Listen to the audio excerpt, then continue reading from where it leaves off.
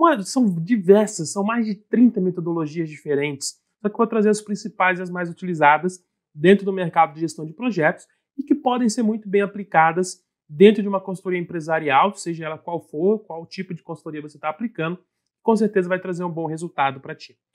A primeira metodologia é o Waterfall, também conhecida como uma metodologia de cascata, e ela se caracteriza pelo estabelecimento de uma sequência lógica de ações. Uma tarefa só pode ser iniciada após a anterior ser concluída. Como que funciona? Eu tenho aqui diversas tarefas, então eu tenho cascata, porque é uma debaixo da outra, né, formando ali como se fosse uma cascata mesmo. E o, o, o, interessante dessa é que eu só posso iniciar uma depois que a outra finalizar. Ela é uma metodologia que traz muita questão da assertividade da qualidade das entregas.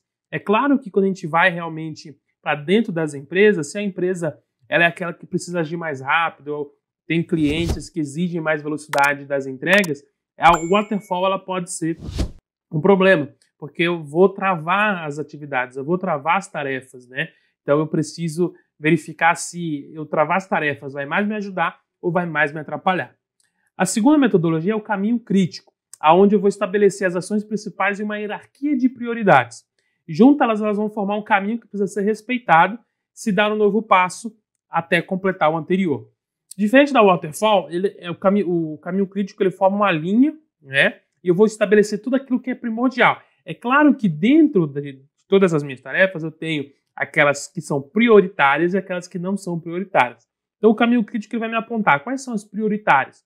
Essas que eu vou seguir. É a prioridade que eu estou seguindo, eu estou seguindo a prioridade. Para que depois eu faça as que não são prioridade, mas eu sempre tenho que focar dentro do caminho crítico, que é aquelas assim, se eu não fizer isso, isso vai é, acabar me dando prejuízo. Então eu estabeleço essa principal, essa principal fundamentação quando eu vou definir o caminho crítico. Quais são as tarefas que eu preciso executar que se eu não executasse, elas me trariam um grande prejuízo. Aí então nós temos uma das mais famosas, que é a metodologia Scrum, que é focada na realização de pequenas tarefas denominadas sprints, e não no resultado final. Ao final de cada sprint, deve ser realizada uma análise sobre os resultados.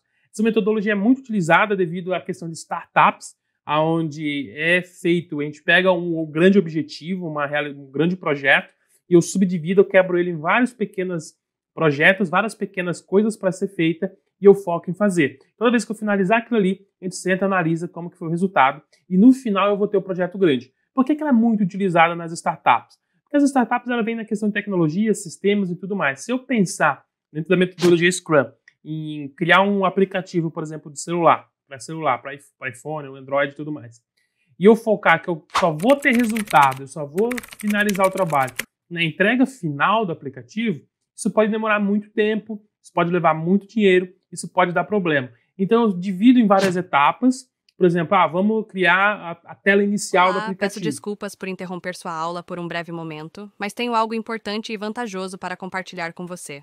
Se você está gostando desta aula, tenho uma ótima notícia. Agora você pode levar sua experiência de aprendizado para o próximo nível fazendo sua matrícula em nosso site. Ao se matricular, você terá acesso exclusivo a uma série de benefícios. Primeiro, você pode baixar a apostila completa do curso em PDF, perfeita para acompanhar as aulas e revisar o conteúdo sempre que precisar. Além disso, ao concluir o curso, você terá a oportunidade de adquirir um certificado de conclusão, um grande passo para o seu desenvolvimento profissional e acadêmico. E sabe o que mais? Ao assistir às aulas diretamente em nosso site, você terá uma experiência de aprendizado sem interrupções ou propagandas. Isso significa mais foco e eficiência no seu estudo.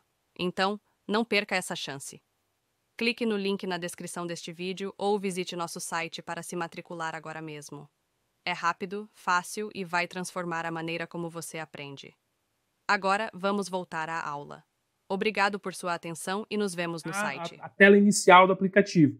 Cria-se a tela inicial do aplicativo, porque é uma tarefa pequena, tem um prazo pequeno, e eu vou analisar se ela ficou boa ou não para eu dar sequência para outra.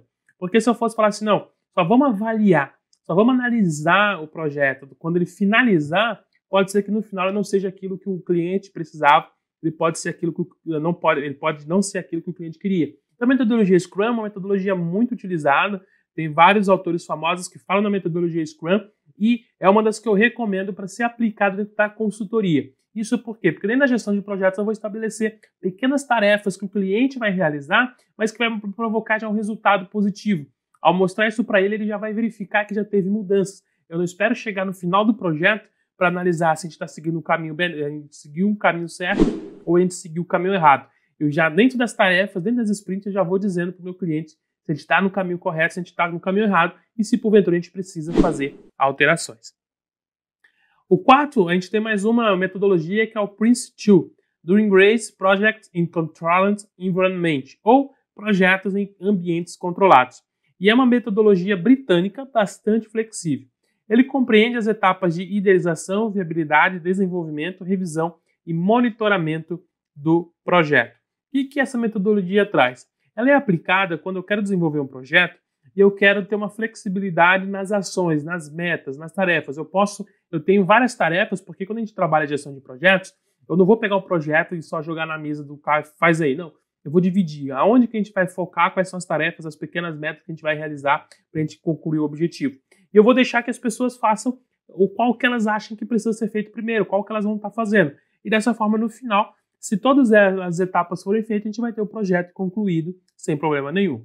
Outro ponto que é a gestão de projetos é baseado na gestão da qualidade, que se baseia na norma da ISO 1000, ISO 10006 de 1997, que vai estabelecer uma série de diretrizes para garantir a padronização das ações.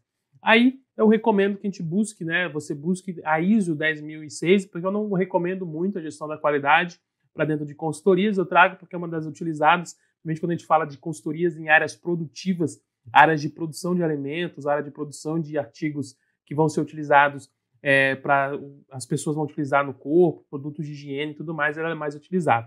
A gente tem o IPMA, que é o International Project Management Association, então, Associação Internacional de Gerenciamento de Projetos, que é uma organização que estabelece práticas de gestão de projetos no mundo todo. Adota um modelo que batizou de ordens de competência, estabelecendo uma divisão entre aquela de ordem técnica, comportamental e contextual, além de outras subdivisões.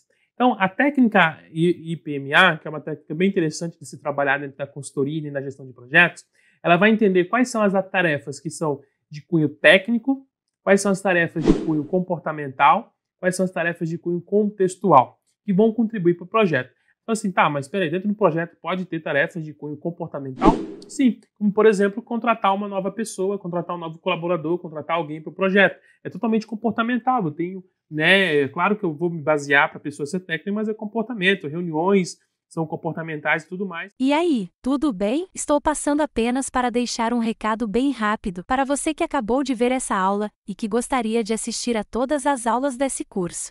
É bem fácil, basta você clicar no link que está na descrição deste vídeo ou acessar www.novacursos.com.br. Fazendo sua matrícula em nosso site, você terá acesso a todas as aulas desse curso e mais centenas de outros cursos, além de poder fazer avaliação, e caso você queira, poderá estar adquirindo o certificado com um valor bem acessível. Esse foi o recado que eu queria dar, aguardo sua matrícula. Até breve!